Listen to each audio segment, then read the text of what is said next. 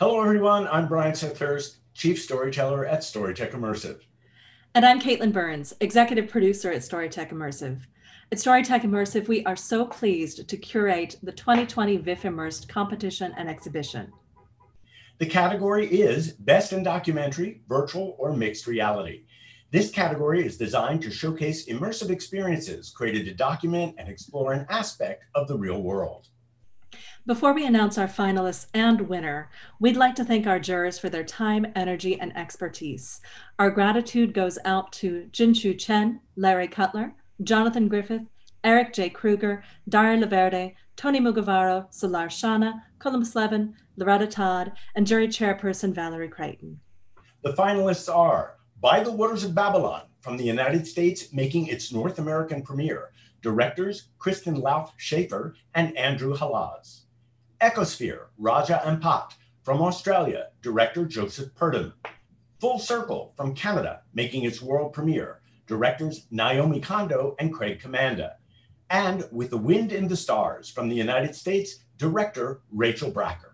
And now I'd like to introduce you to the chair of the 2020 VIFF Immersed Competition Jury, the president and CEO of the Canada Media Fund, Valerie Creighton. And our final category is Best in Documentary, Virtual, or Mixed Reality. And the winner is By the Waters of Babylon. By the Waters of Babylon takes viewers on an immersive journey into the world of composers silenced by the Holocaust and a contemporary string quartet's mission to bring this music to a wider audience. Viewers begin their experience situated in the center of the Clarion Quartet as they perform a work by Viktor Ullmann, a composer who suffered under Nazi oppression.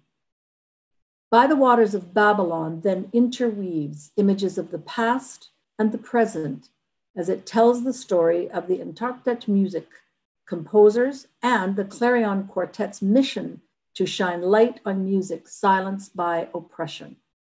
Congratulations, and let's hear from the team. Thank you so much to the Vancouver International Film Festival for honoring this project and for making it available to audiences. We truly appreciate the opportunity to share a story of these composers silenced by the Holocaust and the Clarion Quartet's mission to make this music heard.